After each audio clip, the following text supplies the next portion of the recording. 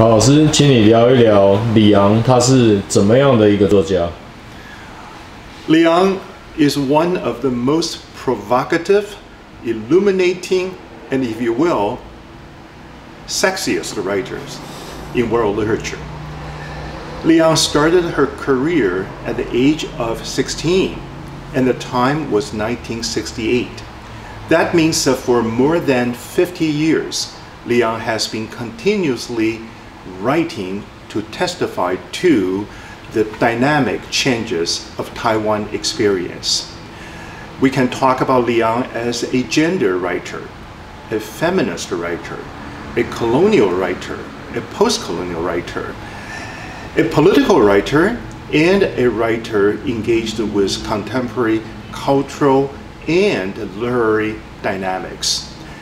Li Ang has uh, started uh, with uh, very, very provocative and sometimes intriguing subject matters, approaching the forbidden issue, the taboo of sexuality during the 1960s and 1970s.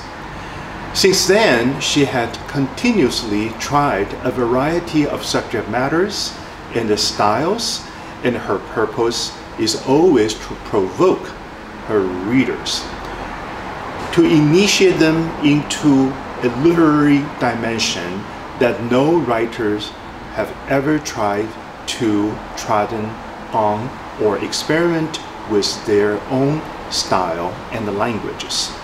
And for that matter, I think Li Ang is a bold woman writer who speaks on behalf of the Taiwan spirit. Particularly in the age of Sinophone literature, I think Li Ang's writing personifies a generation of Taiwan literature workers who stood out and stood up in confrontation with uh, the impulses and the challenges of world literature from all fronts, and particularly challenges from mainland China. So I can proudly say that if we have to name one writer who can represent the so-called humanistic spirit of Taiwan literature, Li Ang would be my first choice. Li Ang has written so many wonderful works. From the early ages, she talked about the uh, gender and the forbidden zones of uh, female sexuality. And in the 80s, she explored the social violence and the contemporary confrontation with the political oppositional forces. And in recent years, she explored and tried to critique the various cultural phenomena that engage writers and readers in Taiwan and the worldwide Sinophone humanities and societies in general.